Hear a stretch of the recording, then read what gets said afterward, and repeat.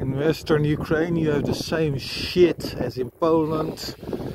If you ever make a mistake, you're on goddamn knows how long gravel path, stone path, cobblestone path, or unbelievably bad asphalt. In other words, completely deteriorated. Uh, it's dark. I'm riding with the Lumintop B01 Plus, the uh, IQ-XS. Let me switch off the B01.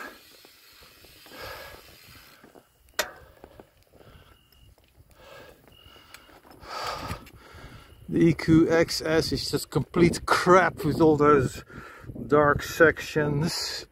It's really, you know, with this one I get the same issue as with the IQ-X. Uh, I'm not sure what exactly what the differences is. Differences are, but it shows again that Busch and Müller makes crap beams.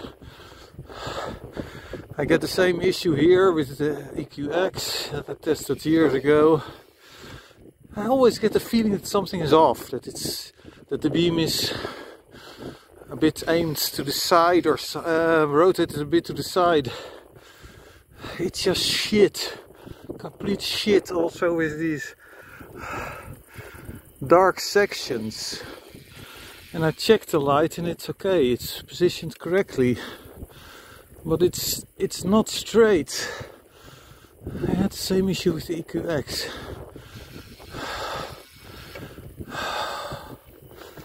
yeah, this is no fun riding with these lights, but it's also no fun riding these roads.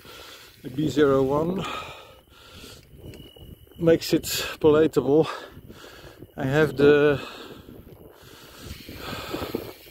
Trelock LS906 with me, so I'm going to replace the IQ-XS with the Trelock because the IQ-XS is just complete crap. That's it for now, bye.